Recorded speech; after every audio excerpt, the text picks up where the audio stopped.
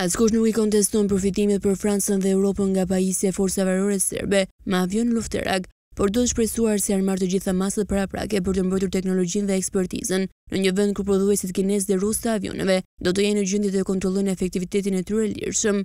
Roli me shumë funksione i luftarakut Rafale i ndërtuar nga Dassault Aviation më në fund po e arrin suksesin që priste jashtë vendit. Ai peshon shumë në eksportet franceze të armëve, të cilat e kanë ngritur Francën në vendin e dytë në mbarë botën për nga vlera e eksportit sipas raportit të fundit nga Instituti Ndërkombëtar i Kërkimit të Paqes në Stockholm, të botuar në mars. Shumë prapa Shteteve të Bashkuara, por tani përpara Rusisë. Libri i porosive të Dassault Aviation është aq i mbushur sa prodhuesi po lufton për të plotësuar kërkesën. Kontrata e fundit u njoftua me bujë të madhe të enjten me njëzet e një gusht në Beograd, ku kishte udhëtuar presidenti Emmanuel Macron. Për njëzet e katër orë ai braktisi kërkimin e tij për një kryeministër të Francës. për të marrë pjesë në nënshkrimin e shitjes në Serbi të dymbëdhjetë Rafalëve për një shumë që i afrohet tre miliardë eurove. Përderisa suksesi tregtar i këtij operacioni, i cili ka qenë duke u krijuar që nga shitja e dymbëdhjetë modeleve të tjera tre vjet më parë në Kroaci, fqinji dhe rival rajonal i Serbisë, është i pamohueshëm, dimensioni i tij diplomatik është shumë i diskutueshëm. Që në fillim projekti është konsideruar i ndjeshëm, edhe me të drejtë për shkak të lidhjeve të Serbisë me Rusinë e Vladimir Putin, Serbia e kandidate për anëtarësim në Bashkimin Europian nuk i zbaton sanksionet e vendosura nga europianët ndaj Moskës pas pushtimit të Ukrainës. Ndryshe nga linjat ajrore të BE-së, Air Serbia vazhdon të fluturojë drejt Moskës.